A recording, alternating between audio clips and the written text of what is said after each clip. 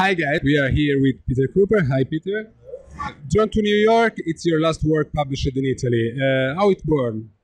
Uh, it's 40 years of living in New York, and then all the comics I did over that time, the, the sketchbook drawing, the dreams I had, uh, some of the nightmares.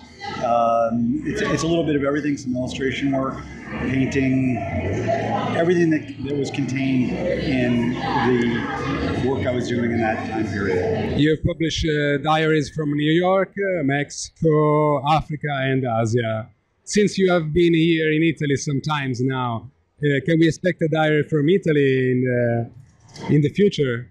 I would like to actually want to do a, a collection of travel stories, and Italy would be part of that. So, because I've been drawing in my sketchbook here uh, in the many times I've been, and uh, so yeah, that would be part of it too. Your drawing style in Ruins is uh, very different from your past works. Uh, with such a long career, your style is, is still in evolution. For me, it's it's a necessity. Some of it is boredom. Some of it is uh, if I work in one style for too long, it starts to become a style, and I want it to be more natural than that. So uh, when I was living in Mexico, I was doing a lot of drawing in my sketchbook, and that was the primary outlet. And that was different from my stencil and spray paint work, which is much more controlled and something I would do in a studio. I was drawing on the street and a more it was a more active, um, freer approach. And I wanted to bring that quality into the work that I did about Mexico, but also I just got tired of stencil and spray paint. Also, it's incredibly poisonous. So I, I just I didn't want to die for my style, and that's always a difficulty because um, it's kind of a lost period. Like I'm not absolutely certain what my voice is, and it's curious because it, it kind of started to make sense as more cartooning, which I, I ended up getting work in the New Yorker, and that style worked really perfectly for the current ideas I have about Donald Trump and all the things that I want to talk about. I'm it, it's got a little bit of humor in it, so it's not completely desperate and sad, and that's appropriate for the type of mentality that I'm in right now. You work for the cult magazine Mad with the series Spy vs. Spy. Would you tell us uh, some uh, stories or curiosity about working on this legendary magazine? Well, I grew up reading Mad, and it's it's part of my DNA at this point. I, I, it helped me understand the possibility of politics and humor meeting somewhere. And Antonio Prohias, who created Spy vs. Spy in 1961, introduced me to the idea of wordless comics, which have been a very big, important part of what I do.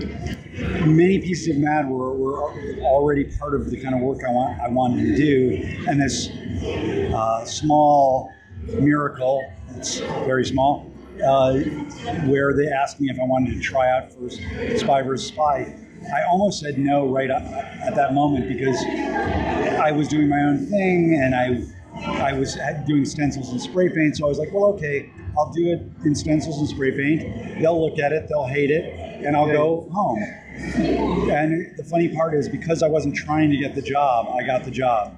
And I thought, well, okay, I'll do it for a year or two, and then it'll become, you know, sort of old. And I'm on my 22nd year of doing it, and it's uh, it's a really good way to reach a, uh, a different kind of audience, and it's fulfilling a an associative dream of being part of the usual gang of idiots, as they call the members of MAD. So there's there's so many aspects to it that I that I like. What I say is that Spy versus Spy for younger readers who are reading it, who are looking at it, it's the gateway drug to my other work. Yeah. So they, they see that and they're like, oh, you do something else. Oh, yeah. And as they get older, they can look at my, uh, you know, drug, sex, rock and roll comics. You also adapted uh, into comics some Kafka's books. Uh, there are some other books you would like to adapt into comics. Well, I'm, I'm, I've become a Mr. Adapter right now. So I just finished a 14 uh, Kafka short stories, and that's going to be my next book. Um, and then I'm I turned to doing Heart of Darkness as an adaptation, Joseph Conrad's classic, Yeah. And that's a 140 page book, and that's going to keep me busy until the end of the year. And then the book that I'd like to do after that would end up being a travel book. So I just have to see if I can find a publisher that wants me to will, will let me do that kind of work, which I think would be a lot of fun. Yeah. How the comic industry has changed from the beginning of your career? It's better now or was better then? Oh, it's it's way better now. Yeah. I mean, I almost was a hobby before, not on my end in terms of my mentality about it, but I, I couldn't get paid to do comics for the first 15 years of my career. It's a pretty long time to go of or more like 10 but i just there just started to be the kind of comics i wanted to do and what mainstream bigger publishing was doing didn't line up at all and so there were there were really no major publishers who would pay money for that. So was, i worked with smaller publishers which was you know fine but just financially difficult. So it meant that i was also doing illustration. I was you know i had to do a juggle in order to do have art as a career. But comics were always primary in what i did even if i was self-publishing like with magazine world war iii which uh, I, I started, I co-founded because I was doing comics and couldn't even find a publisher, even who wouldn't, not even for pay, just to get them published because they were politically inclined. And this was at a point where the underground comics of the 60s and 70s were dead. And so, you know, it was a really difficult time to do that. But this is where I think you know pursuing your love is recommended because at the, at the end of the day, the worst case is that you've done something you love. As it turned out, comics was a brilliant choice because now, for example, I, I got a two book deal with a major publisher to do my, my latest books, and I can live on that and and just work on that if I chose to. I don't choose to because I want to do day to day political commentary, but I can, you know, like I moved to Mexico for four months just to work on Heart of Darkness, so I would get the temperature and the smells, and I got stung by a wasp when I was down there, and there's scorpions, and get the, you know, the vibe, and The real experience. the real experience. And you know, I'm, I'm not sure I could have afforded to do that earlier. I think that you know I was going to do that kind of work no matter what. I think if if it, if I still wasn't being paid, I would still be doing comics, but uh, it's it gets more complicated when you have uh, a child and, and your daughter's in college and university costs a ridiculous amount in the United States. So all that you know re- real world things, and I don't really have another plan besides doing art. So I must do comics and and draw And get paid for it. and I have, to, I have to find out how to get paid for that. And that's just, you know, that's another creative, uh, that's a job also, is, is to creatively do what you want and find a way. Uh, Rovine, I, I started working on that before I even had a publisher. I just was like, I must do this, and it was a complete like a, it felt like a suicide mission almost because I knew it was going to take years to do, and uh, you know, but it, it had to be done. So, and when I've done work that I that matters to me, it's led to other work that maybe you know I don't get paid for this one here, but I get paid for that one there. World War III has never made any money whatsoever, but because I did World War III, then I might get invited to give a talk somewhere or teach somewhere, like Harvard, Yeah. which I where I teach, and and uh, School of Visual Arts in New York, and that's in part because of the experiences that I have that are maybe coming from places that you know aren't financially you know as as reasonable. About uh, World War III, the magazine you co-founded. Uh, tell us the reason behind the, the creation of this magazine. Um, when I was in art school, Ronald Reagan was running for president, and the idea that this shitty actor was going to be the president actually that could happen. He, he had been a joke, very much like Donald Trump, in fact. Uh, my friend and I were doing comics. We couldn't find an outlet for them. We saw art around New York that was being done that was brilliant, that we wanted to also make sure didn't disappear. That was commentary. And we had done a fanzine before that, growing up, in Cleveland. I did. Uh, we probably started when I was about 11, mm-hmm. and we would interview cartoonists, do exactly this, yeah. and then you know before I could draw, but I was really interested in comics.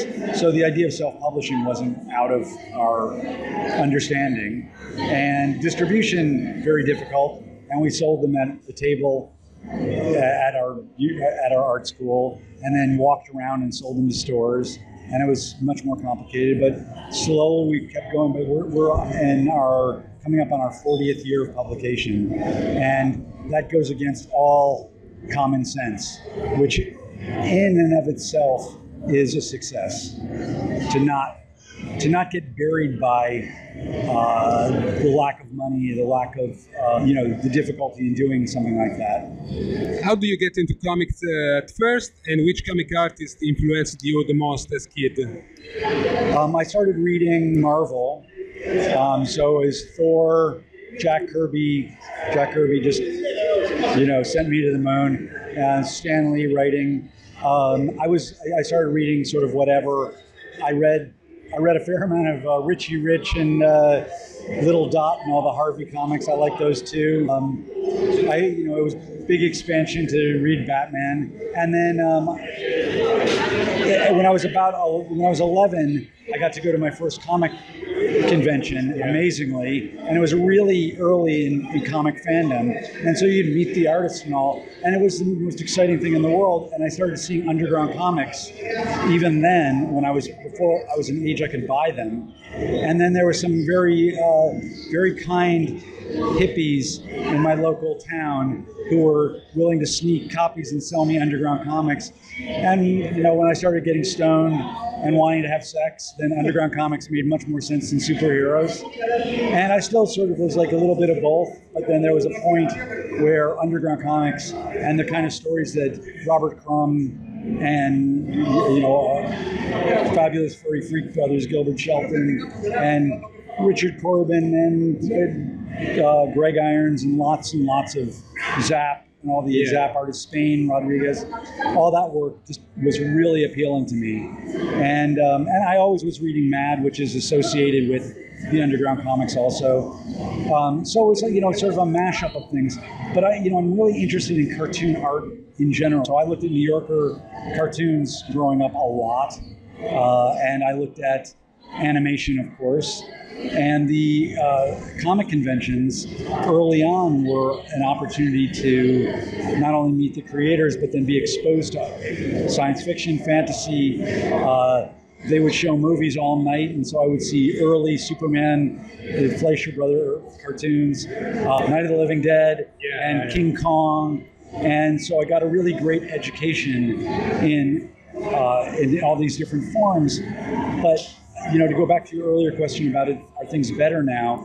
Comics were not considered even to be an art. It was a low art. It wasn't even considered to really be an art form. Well, now they're in museums naturally, and nobody questions the value of them as an art form. Well, not nobody, but yeah, yeah. It's you know, if you if you don't know they're an art form, that just means you don't know. So that change is dramatic. And on the other hand, I never doubted the form, I, and it made me maybe almost angrier and more like it was almost more of a crusade to yeah, tell yeah. people this is one of the this is the greatest art form out there. This is a combination of words and pictures.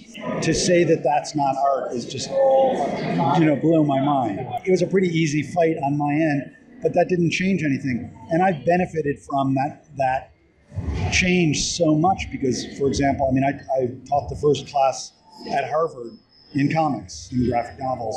Uh, I've been invited to festivals, literary festivals around the world where I'm the comic guest. The first time they've ever looked at graphic novels as a literary form. Do you think that digital comics will replace uh, traditional ones in the future?